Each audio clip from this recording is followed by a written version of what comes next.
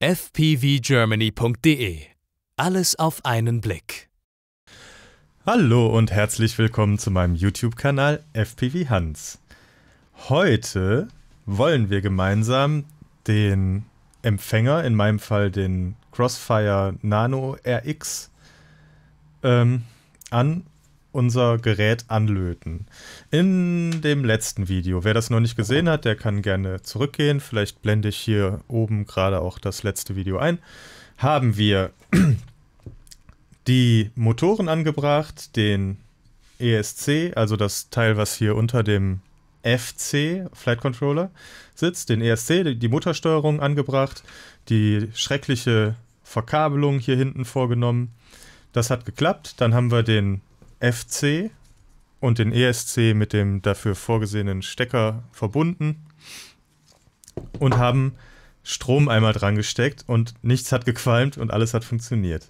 Der nächste Schritt ist jetzt, dass wir alles, was an den FC gehört, da dran machen. Das heißt, hier wird ein ähm, Receiver drankommen. Das machen wir heute. Beim nächsten Mal hoffe ich, dass wir es endlich schaffen, die Die CADEX Vista anzubringen und die Kamera. Da fehlen mir aber, ich, ich habe gerade Riesenprobleme mit meinem 3D-Drucker, das tut mir leid. Deshalb müssen wir das nochmal ein bisschen schieben.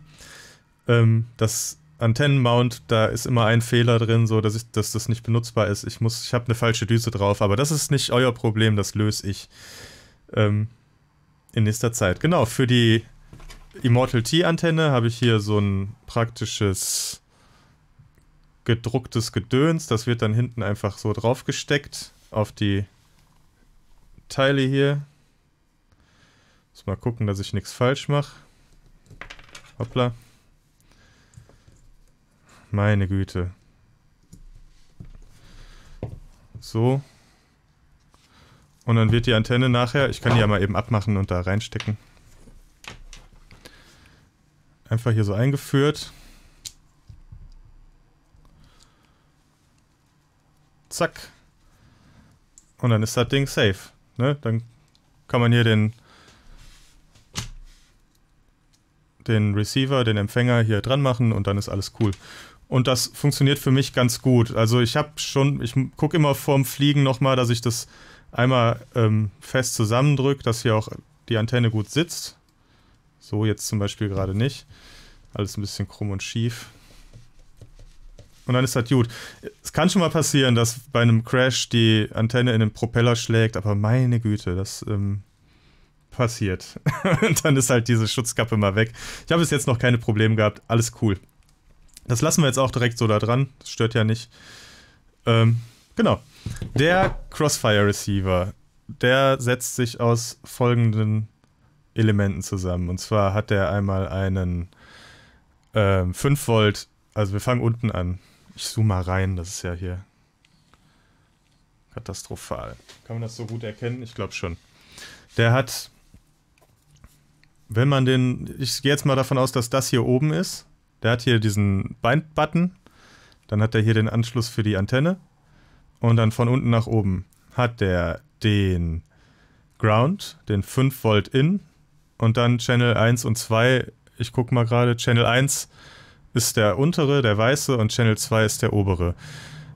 Ähm, das ist auch bei Crossfire immer nur mit Channel 1 und 2 gekennzeichnet. Man muss immer ein bisschen suchen, weil ganz wichtig ist, man muss die Bezeichnung RX und TX, also receiven und empfangen, transmit und receive heißt es, glaube ich, ähm, muss man wissen, weil, und das ist der am häufigsten gemachte Fehler, warum man nachher keine Verbindung zu seiner Funke herstellen kann, ähm, wenn das vertauscht ist, dann, dann werden die Eingaben an der Funke einfach in Betaflight nicht angezeigt und dann hat man ein Problem. Und es ist ganz wichtig, man muss den RX, das ist hier der weiße in dem Fall, äh, der gelbe in dem Fall, muss man an den TX vom Receiver, äh, vom FC anschließen und den TX an den RX. Das, wie gesagt, das ist in 99% der Fälle das Problem, wenn jemand fragt und vielleicht hört gerade auch irgendjemand zu, der das Problem schon hatte. In 99% der Fälle ist das genau das Problem. So, hier und in den äh, Crossfire Handbüchern steht immer nur Channel 1 und Channel 2. Ich habe jetzt hier, aber ich zeige euch das mal, von äh, auf der Seite von N-Factory ist äh, das offizielle SpeedyB-Bild und da ist das hier oben, ich kann mal mit der Maus da hingehen, ist das sehr schön dargestellt und zwar haben wir hier die genaue Verkabelung einfach mit Farben und alles hier perfekt. Und das Gute ist, man sieht das hier, ist ein 4V5 Volt Pad. Ich gehe wieder rüber. Das ähm, haben wir hier. Und das ist ähm, ein Pad, was auch den Receiver mit Strom versorgt, wenn nur ein USB-Stecker angeschlossen ist. Und das ist ziemlich cool. Das sollte jeder Flight Controller haben, hat aber nicht jeder. Schade, Schokolade. so, der Controller ist schon, ähm, der Controller, der Receiver hier, der ist schon vorgelötet, weil ich den schon mal in einem anderen Quad hatte. Ich habe einfach die Kabel hier dran gelötet. Ich schaue mal gerade, ob die hier schon, ob die noch vorverzinnt sind. Ja, das sieht so, ah, die verzinne ich gleich nochmal neu vor. Ähm, aber wir fangen jetzt erstmal an und machen die Pads klar, die wir brauchen. Wir brauchen nämlich hier TX, RX, 4, äh, 4V5 und Ground. Also die, diese vier Pads hier unten einfach nur. Mein Lötkolben habe ich schon warm laufen lassen und jetzt muss ich nur noch darauf achten, weil ich sehr nah mit der Kamera reingezoomt bin. Ich kann das auch noch einmal von richtig nah zeigen. Ich hoffe, das fokussiert. Ja. So sieht das aus. Ähm, genau, jetzt muss ich die nur noch vorverzinnen und dann einfach in der richtigen Reihenfolge da drauf pappen. Und das hier ist ein relativ gut zugänglicher. Sind relativ, ich muss manchmal meine Lötspitze hier in den Tisch stecken, weil die hier vorne rausfällt, weil das Gewinde nicht mehr funktioniert. Das ist echt ganz großer Mist, aber ich suche gerade schon nach. Manchmal, also so mache ich es eigentlich sonst. Ich nehme dann eine Zange und schiebe die wieder so ein bisschen da rein. Aber da ist alles verloren viele Jahre treuer Dienst. Aber jetzt ist es vorbei. Aber ich habe nächste Woche Geburtstag. Vielleicht erbarmt sich ja jemand. Okay, auf geht's. Ich nehme mal hier das Mikrofon so ein Stück mit. Upsa, Entschuldigung, das war jetzt vielleicht ein bisschen laut. Und dann verzinne ich die Pads. Das heißt, ich mache ein bisschen Lot hier an den... Ah, denn das ist total unsexy gerade. So bisschen hier dran und dann einfach auf Pad Nummer 1 halten. Er will gerade nicht. Ein bisschen drehen.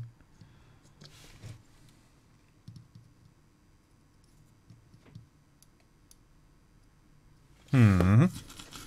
Schitte. Ist mein Lötkolben jetzt fertig?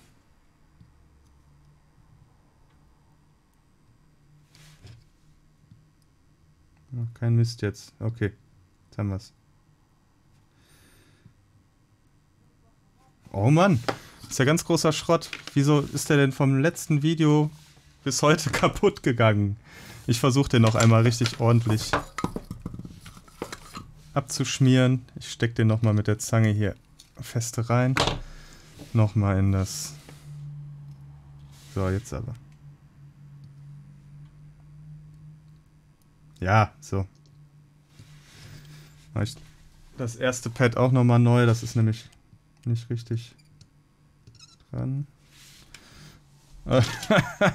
das einfachste von allem geht heute schief. So, das ist jetzt hier überbrückt, das heißt, das muss ich einmal ent entwirren. So, mit der Lötpumpe einfach einmal dran und dann ist das auch schon wieder gut. Jetzt das erste Pad okay, jetzt kommt ans zweite Pad.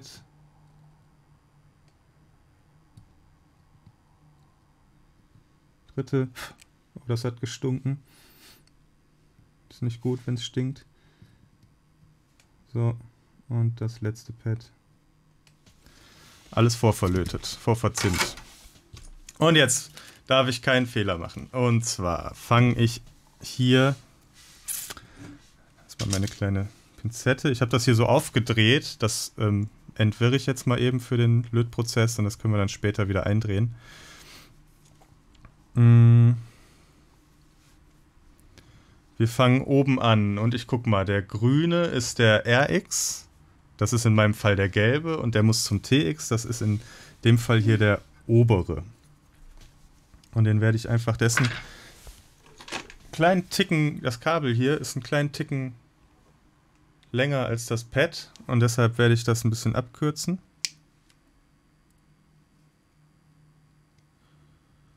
Mit meinem Seitenschneider. Den ich falsch rumgehalten habe und ich wundere mich, warum sich das so komisch anfühlt. Ähm und dann, na, ich mache die Kabel alle jetzt nochmal, werde ich nochmal vorverzinnen.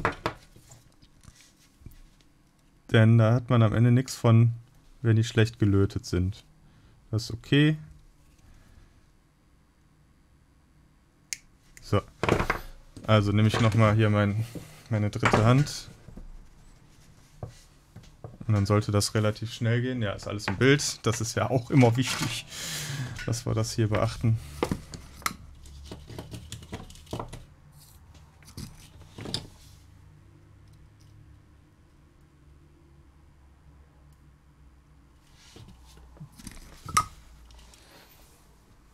will nicht haften. Ich mache mal hier ein bisschen von meinem Lötfett da drauf. Tunke ich die Kabel einfach ein. Hier das Achselhaar nenne ich das jetzt mal. Nehme ich mal da weg, das hat da nichts verloren. Aber wer weiß, wo es wirklich herkam.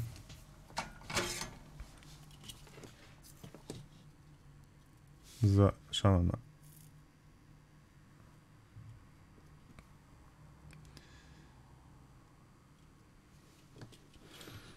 Nummer 1. Die wollen sich nicht so richtig vorverlöten lassen. Komisch. Aber vielleicht lassen die sich ja gleich anlöten. Habe ich auch so noch nicht erlebt. Das ist vielleicht irgendwie korrodiert oder so, ich weiß es nicht. Ich versuche die jetzt mal anzulöten. Also, das ist ja wie eh und je, ne? Jeder Fehler kommt mit ins Video. Jetzt schaue ich mal, wie ich das am besten mache. Von der Seite, das Gelbe hatten wir gesagt, ist hier Channel 1. Ist da grün, kommt dahin. Also, das ist mein RX-Kabel. Triple and Quadruple Check. Ne, jetzt haben wir es so rumliegen. Jetzt mache ich so. Jetzt fange ich mit dem, fange ich mit dem Ground-Kabel an. Da komme ich, glaube ich, gleich komfortabler dran. Das heißt, ich lege mir das jetzt hier so auf. Ich kann es kaum erkennen, ohne mit dem Kopf in die Kamera reinzudüsen.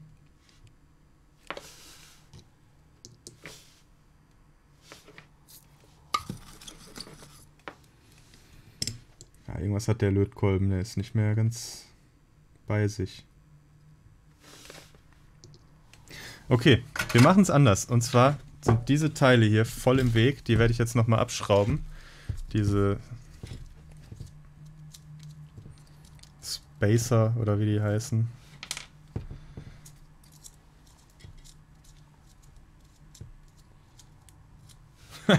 Als ich gerade mir überlegt habe, reicht das denn für ein ganzes Video? Ähm, habe ich gedacht, ja, weiß ich nicht, wird dann halt ein kurzes, aber bei dem ganzen Mist, der jetzt hier schon wieder läuft, wird das kein kurzes. Also, wir nehmen das Ground-Kabel. Ist alles in der Kamera, sehr gut.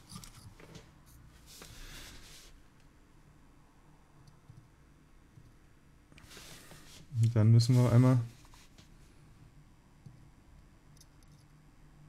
Da muss ich weiter vorne packen, sonst kriegt das den halt nicht.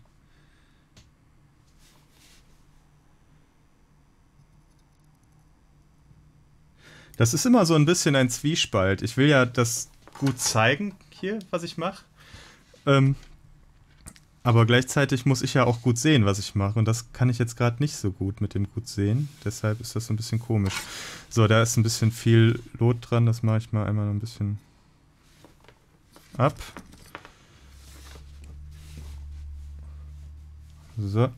Und das nächste Kabel ist dran. Und jetzt keinen Fehler machen. Jetzt nehme ich das weiße Kabel. Das ist auch das, das ist das blaue Kabel auf dem Bild. Ach, ihr seht das gar nicht. Ich erzähle die ganze Zeit was von Farben. Also hier nochmal für euch. Also ich mache jetzt quasi das. Ich habe jetzt Ground und 5 Volt dran gemacht. Habe ich das auch in der richtigen Reihenfolge? Ja, habe ich. Und jetzt kommt das blaue Kabel, das ist Channel 1, TX. Das kommt an RX an dem Flight Controller. So, und wieder zurück hierhin. Und bei mir ist das Kabel nicht blau, sondern weiß. Also, 15 Mal checken, weil sonst klappt das alles nicht. So, ist dran. Und das letzte checke ich jetzt nicht. Doch, ich check's nochmal. Ähm, das ist auf dem Bild. Wir können uns das auch nochmal zusammen angucken. RX und das kommt jetzt an den TX, also an den T1 auf dem Flight Controller. Wir haben alles soweit vorbereitet. Jetzt gucke ich mir das einmal aus der Nähe an. Ja, hier mache ich noch mal ein bisschen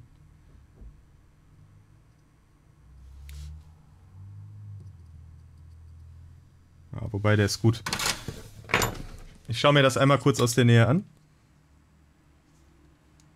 Ne, der ist nicht gut. Da muss noch mehr ähm, Zinn dran. Das mache ich jetzt einfach ganz fix, indem ich hier... Oh, kann man das sehen? Mache ich hier ein bisschen an den Lötkolben.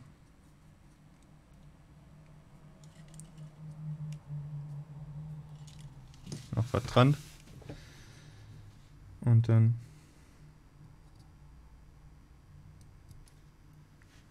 Ist das jetzt wieder ab. packe ich mir das wieder. Jetzt ist da ein bisschen mehr Zinn vorhanden. So, und jetzt ist gut. Jetzt ist nicht gut, ist wieder ab. Heckmeck. So, nochmal ganz nah dran. Ich habe heute auch wieder so ein bisschen einen zittrigen Tag. Das ist Familienproblem bei uns. So, reicht's mir. Okay. Das ist das. Jetzt gucken wir mal. Jetzt ähm, zoome ich mal ein Stück raus wieder. Jetzt haben wir ja hier hinten die Antenne. Die fummel ich mal hier durch. Die schließe ich jetzt hier an. Das ist jetzt noch nicht final. Also ich werde das noch hier ähm, eindrehen. So. Antenne dran. Sogar noch mehr eindrehen dass das hier nirgendwo nachher rumschlackert oder stört. Die Antenne dran, das ist immer ganz wichtig. Man sollte niemals einen Empfänger oder irgendwas, wo eine Antenne dran gehört, ohne Antenne betreiben. TBS sagt zwar zu seinen Produkten oftmals was anderes, aber warum soll man da irgendein Risiko eingehen, was man nicht eingehen muss? So, jetzt haben wir den ähm, Empfänger tatsächlich geschafft, heute anzulöten, mit nur einer Handvoll Problemen, aber Probleme sind ja auch immer dafür da, um davon zu lernen. Das heißt, wenn ihr auch eines dieser Probleme haben werdet, dann habt ihr mein Video gesehen und könnt direkt sagen, ach hör mal, das ist ja kein richtiges Problem. Das habe ich ja beim Hans im Video gesehen. Dafür lohnt sich das ja nicht mal, einen äh, Fragebeitrag irgendwo zu schreiben. Da kenne ich ja die Lösung schon. Danke, Hans. So. Ähm, dann stecken wir jetzt gleich nochmal Strom dran und gucken, ob weiterhin nichts in Rauch aufgeht. Ich schaue mir einmal die Lötstellen nochmal genau aus der Nähe an. Ja, das ist okay. Ist nicht der Traum eines Lötfachverkäufers, aber der ist, äh, das ist alles gut gelötet. Kabel sind nicht über, also die Dinger sind nicht überbrückt. Das ist das Wichtigste. Die, ähm, da kommt dann nachher noch einen Schrumpfschlauch drüber, aber erst wenn das mit der Funke gebeindet ist. Aber das machen wir in dem Video, wo wir alles zusammen ähm, fertig machen. Ne? Also ich löte jetzt erstmal nach und nach die Teile dran und dann gehen wir einmal in die Einstellungen, binden die Fernbedienung. Das kommt dann alles noch, aber nicht heute. So, der große Moment. Guck mal, und heute haben wir auch die ähm, die zweiten Töne gehabt, nämlich das Dü, Dü, weil heute ist der Flight Controller schon an den FC angeschlossen und wenn der den, äh, an den ESC und wenn das sich alles gegenseitig erkennt, dann machen die Motoren noch das zweite Geräusch. Fertig aus. Der, ähm, oh, diese ganzen Abkürzungen, der Receiver, der RX, ist auch mit Strom versorgt. Alles cool. So. Ja, wie gesagt, ähm, na, wisst ihr was? Wir machen noch ein extra Video. Das, ähm, das wäre zu viel, wenn wir dann alles auf einmal einstellen. Wir lassen das jetzt so mit dem Anschließen und das nächste Video wird dann das sein. Das kann ich dann auch relativ schnell hinterherballern. Ähm, wird dann das Video sein, wo wir die Funke mit der mit dem Receiver pairen und gucken, dass das äh, Licht nicht mehr rot, sondern grün leuchtet. Alles klar. Vielen Dank fürs Zuschauen. Wenn ihr Fragen oder Anregungen habt, dann haut mir die unten in den Chat. Wenn ihr mir einfach sagen wollt, wie toll mir die Reihe äh, euch die Reihe gefällt, auch unten in den Chat, sage ich jetzt. Das ist der in die Kommentare. Die Produkte, die ich hier verwende, die findet ihr alle in der Beschreibung. Das sind Affiliate-Links. Wenn ihr davon was kaufen möchtet, dann macht das gerne über meine Links. Davon ähm, profitiert unser Kanal ein bisschen und FPV Germany kann irgendwann hoffentlich seine Kosten selber tragen. Ähm, was wollte ich noch sagen? Ja, ich bin gespannt, weil ähm, es, wir nähern uns dem Ende. Ich, mir grault es noch so ein bisschen. Ich muss jetzt nämlich gleich zu meinem 3D-Drucker und da die, äh, die Nozzle wechseln, damit ich hier meine Teile fertig drucken kann, die leider mit der dicken Nase nicht gehen. Aber so ist das, ne? Ist ja ist kein, kein Hobby für nebenbei, dieses 3D-Drucken.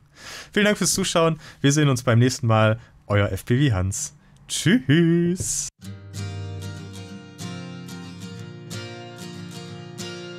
FB